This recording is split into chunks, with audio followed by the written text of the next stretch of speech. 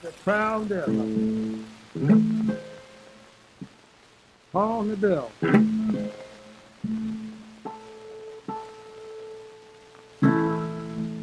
In June of 1929, this guy, Charley Patton, a Mississippi Delta singer and guitar player, would take the long train ride, 750 miles from Jackson, Mississippi, all the way to this neighborhood, the small Indiana town of Richmond, and in one day at the Gennett studio would make blues history.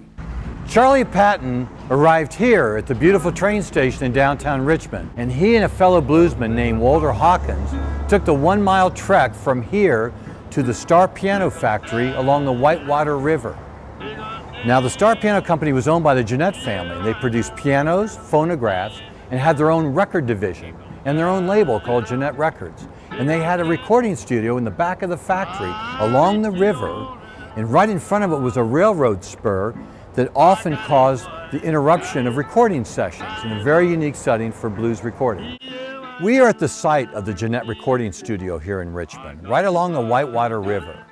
And it is here that Charley Patton arrived in 1929. But by then, this studio had already made music history with landmark recordings by the likes of Louis Armstrong, Bix Beiderbecke, Jelly Roll Morton, and Hoagy Carmichael. But with Charley coming here from the Mississippi Delta, it was time to make blues history. We don't know for sure how old Charley was when he arrived in Richmond. He doesn't have a birth certificate, but we assume he was in his late 30s. From the lone promotional photo taken of him, we know he was a small man of mixed race, possibly part Cherokee, with wavy hair and big ears. He'd never been in a recording studio before, but he played in juke joints and house parties for years in the Mississippi Delta, he was known as a wild showman, and stories abounded about how he played the guitar between his legs and behind his head, and how his gravelly voice could carry hundreds of yards. So when he came to Richmond, he had a whole bag of tricks. And in that sweltering heat on June 14th, he performed a lively mix of original blues, country music, and gospel tunes. I wrote this book on Gennett Records called Jelly Roll Bix and Hoagy because I've always been fascinated how this record label could set a fire on the blues and jazz movement, often through pure serendipity. And that was the case with Charley Patton. Definitely with Charley Patton.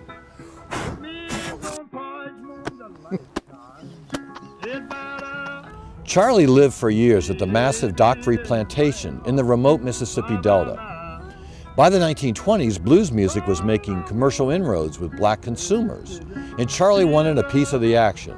So he connected with H.C. Speir, a store owner three hours away in Jackson.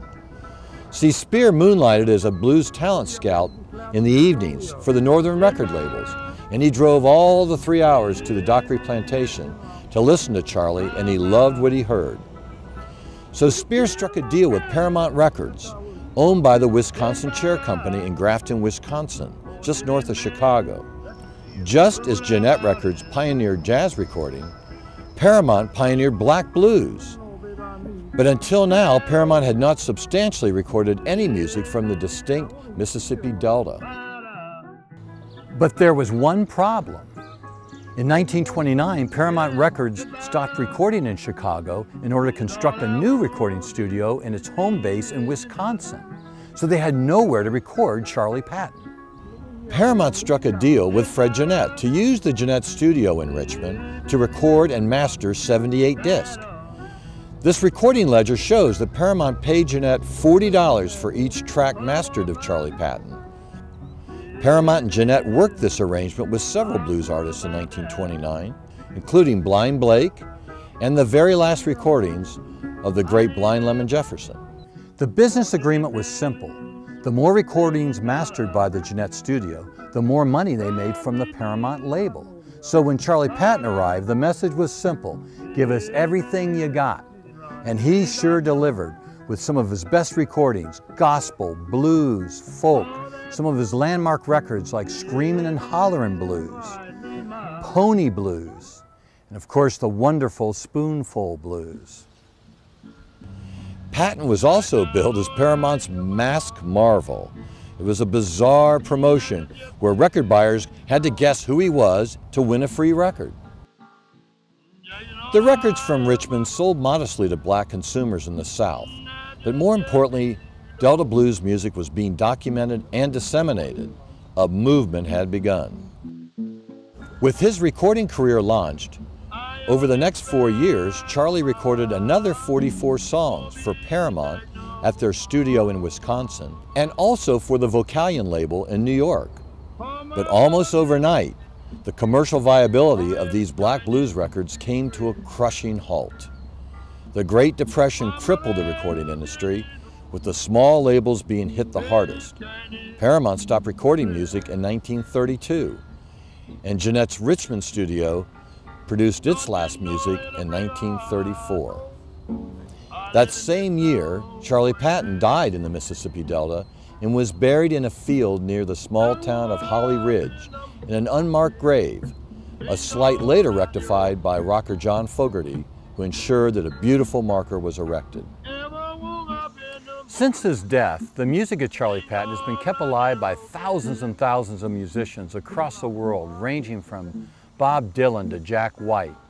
But it's always exciting to come to Richmond, Indiana, because even though he spent just one day here in this town, almost a century ago, it is celebrated throughout this city. And why not? Because that one day changed blues music forever.